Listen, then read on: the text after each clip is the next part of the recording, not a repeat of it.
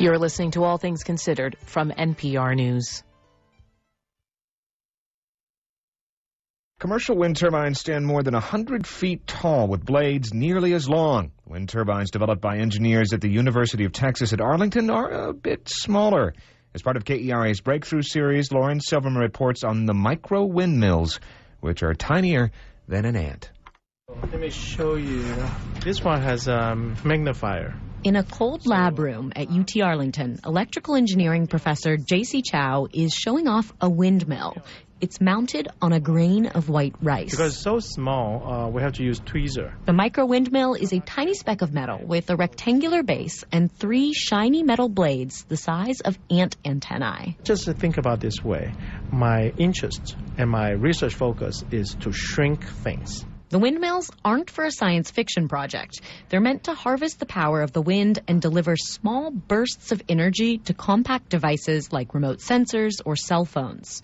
Smitha Rao is a university research associate who came up with the design for the tiny turbines. We visualized that we could have a panel of these outside to power your outdoor lighting. And as I was talking to Dr. Chiao, I was waving my hands, and he was like, Guess what else you can use it for? To charge your cell phone. That's right. A sleeve connected to your phone's battery would have the windmills stuck on top. So theoretically, if you wave your hand enough, then you should be able to generate some power to send that one important text message. Creating windmills with parts a fraction of the diameter of a human hair was a real challenge.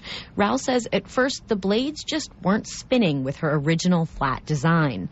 That's when she noticed something about her daughter's pinwheel. And I realized that it had this curved structure that made it rotate much faster, even when she was just barely waving it. And I said, that's what I need to do. I need to create that artificial curvature for the wind to make it move faster. The problem was in trying to create that curvature on such a minute scale from two-dimensional metal pieces.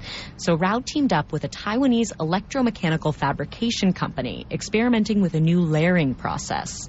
It was a success. The nickel alloy blades aren't curved, but they have a step-like structure that appears smooth and helps with rotation. How much wind does it take to move these things? It doesn't take much. Uh, the, the reason is that the blade has almost no weight. We blow on it, it will turn already. So that's why we're so optimistic. These could be tucked under a bridge or on city streets, places where sun doesn't shine and a traditional wind tower can't fit. A lot of people think small is weak, but Chiao says going small can mean less waste, lower cost, and more efficiency. That's why engineers across the country are developing micro electromechanical systems, or MEMS devices, for applications in energy, medicine, and transportation.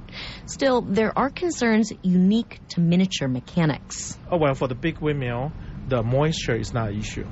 Uh, you can rain and the, the windmill still work. But for our device, moisture is a major issue.